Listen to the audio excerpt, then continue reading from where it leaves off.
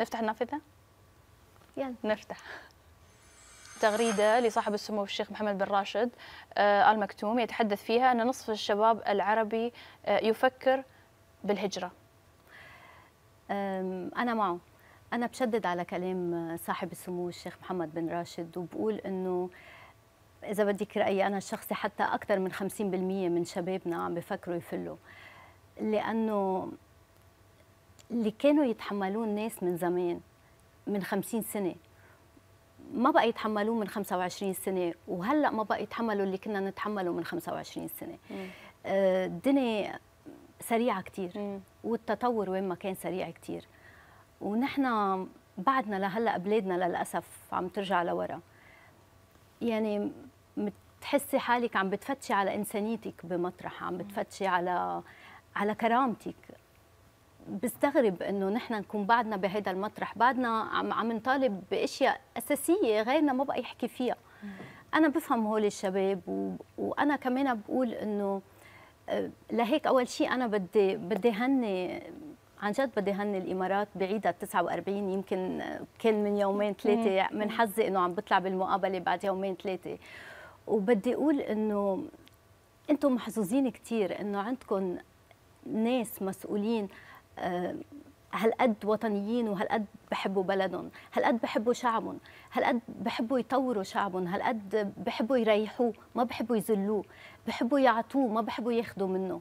بحبوا يسقفوه ما بحبوا يسكروا له مدارسه. هيك هيك بدنا حكام. لو لو كل الدول العربية عم تعمل مثل ما عملوا بالإمارات يمكن ما كنا رح نوصل لهون بس إذا رح نضلنا مكفين هيك بتأسف إني أقول إنه ما رح يبقى حدا تحت. أنا ما بتمنى لبناتي يعيشوا اللي نحن عشناه. وكل ما عم تتقدم سنين لقدام عم تحسي إنه ما الهيئة في تحسن الهيئة بعدنا عم نرجع لورا.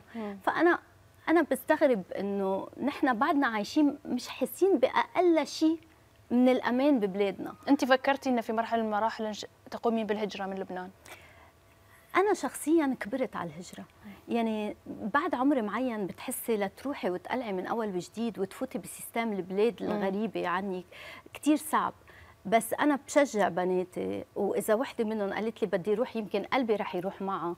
بس حخليها تروح لأنه حكون مطمنه عليها أكثر وعلى مستقبلها أكثر من ما إذا ضلت ببلدنا. للأسف يعني عم بحكي هيدا الحكي بس هيدا واقع.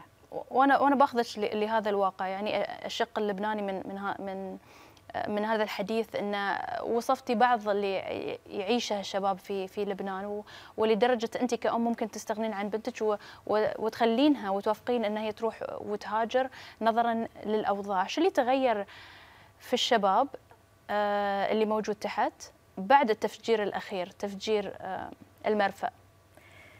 هو تغير مش بس بالشباب بكل الشعب اللبناني. يعني بتحسي الشعب اللبناني في بعيونه حزن. ما بقى مبسوط. عم بحس يعني لأول مرة بحياتنا بنحس باليأس. دائما كان عندنا على طول أمل إنه okay تكسر هيدا بنرجع بنعمر صار هيك بنرجع بنظبط هيدا سرقنا بنرجع بنجيب هيدا. صح. هلأ وصلنا لمرحلة كل شيء راح. يعني الناس اللي كانت حاطة شوية أمان بالبنك راحوا مصرياتهم الدولة مش مأمنت لنا بديل. آه، كل شيء الأمور الأساسية الحياتية يعني يلي يلي المفروض تتأمن يلي هي ال minimum منا بقى مأمنة. فوق هيدا وكله بصير انفجار بهيدا الحجم بتتدمر مدينة كاملة بيتدمروا البيوت بيموتوا الناس بيموتوا الاولاد. وما حدا بيسأل ولا حدا بيعرف شيء. بتقولي أنت شو بعدني عم بعمل هون؟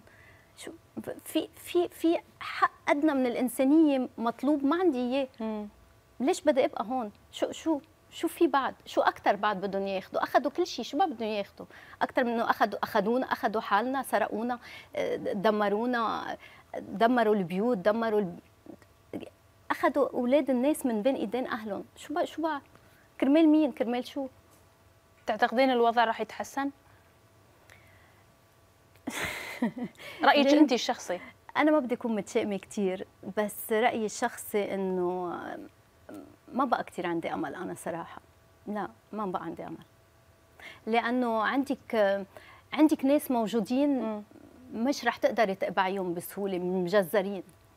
ما بعرف. يعني ما- بدي أقول هيدا الشيء بطلع هلأ كثير ثقيلة وكثير متشائمة بس لا بالعكس يمكن يمكن قاعد تتكلمين يعني لسان الواقع لسان يعني كثر. ح- حلنا بقى نفهم إنه نروح نفتش على حالنا بمطرح تاني. نفتش على إنسانيتنا على كرامتنا. نلملم ون- ونروح. يعني تشجعين مبدأ الهجرة. إذا حدا بيقول لي أنا بدي فل ما بنصحه يبقى. بس مش أنا بقول له قوم فل زبط زبطت بكتفي بهذا القدر. الرساله واضحة و- ووصلت والله الله يرجع لبنان مثل ما كانت وأحسن إن شاء الله. ولربما المستقبل يمكن انت تشوفينه شوي مظلم لكن أكيد بعد الظلام في هذه بصيص الأمل نور إن شاء الله. في آخر النفق. دائما لازم الواحد ما يحط يكون بس الأمل. النور اللي بيطلعنا